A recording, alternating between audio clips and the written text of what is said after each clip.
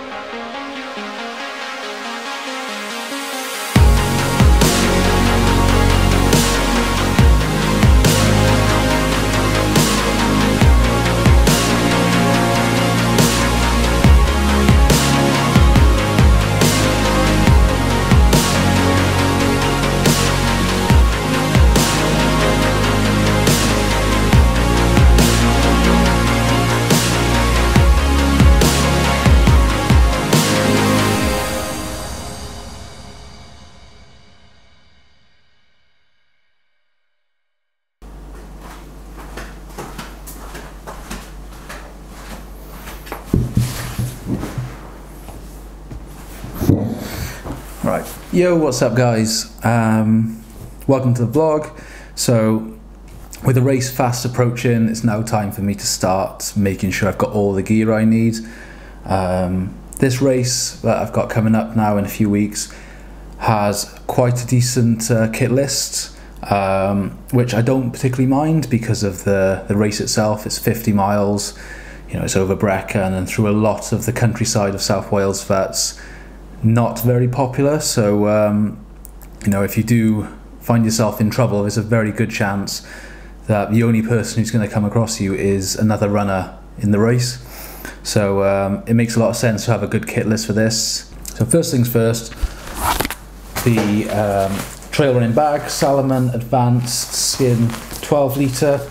Um, I've had one of these before and I absolutely loved it. I had it for two and a half years, so this is a brand new one. Uh, the reason getting a new one is because there were quite a few holes in the pockets.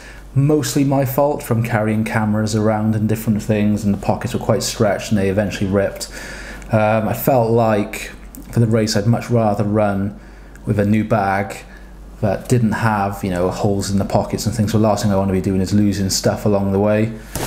Right, so as far as kit list goes, it's quite a big kit list. Um, start with this.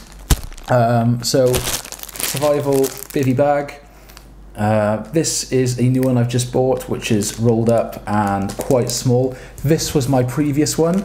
Uh, apparently, there's a weight difference of 25%, so this is a quarter of the weight of this. Doesn't quite feel like it, but it's certainly a lot neater, and this will fit in the bag a lot better than this. I don't really want to be carrying that around. Start right, we've got waterproof jacket. I've got my Salomon waterproof jacket and waterproof leggings we have a new Salomon mid layer. I've also have to carry a base layer legs and top, a hat and gloves, a compass, first aid kit, a litres worth of water, um, a head torch with a spare battery, an additional head torch in case that one fails, another light, this one is to go on the back of my bag's red light, 400 calories worth of food which I'm not allowed to eat. That needs to be present at the end of the race. It's for emergencies only. Uh, finally, a waterproof bag which all my stuff needs to go in. I brought a few things out to show you what else I'll be carrying. Obviously, my poles. Um, these are probably the biggest weight of anything in this kit list, but looking at the race, obviously the start is going up Pen y Fan and across the beacons. I'll be using these most of the time. I can't see a time where I'm going to be putting these away. Um, looking at the course and the, the bits that I've run, uh, lots of hills. Um, if you're not going up, you're going down, there's not many flat bits. So um, these will be in use the majority of the time. And if I'm not using them, I might just hold them in the one hand. So hopefully they won't add too much weight to the actual bag itself.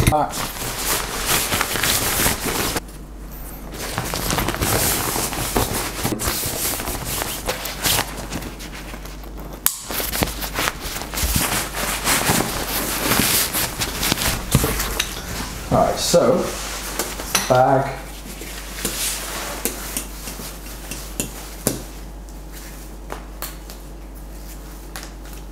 Actually, to be honest guys, that's not too bad at all.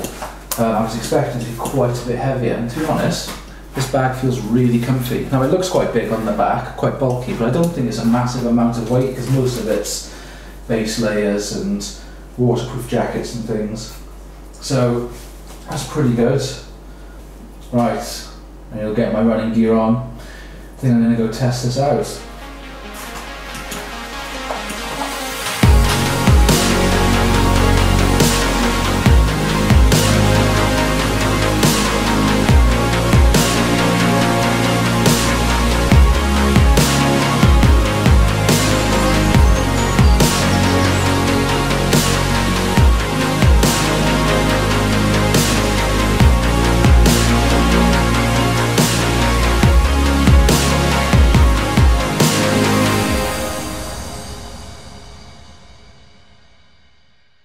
Right guys, so bag tested and to be honest, like I said, felt really good, it actually felt lighter than I thought, really happy with that.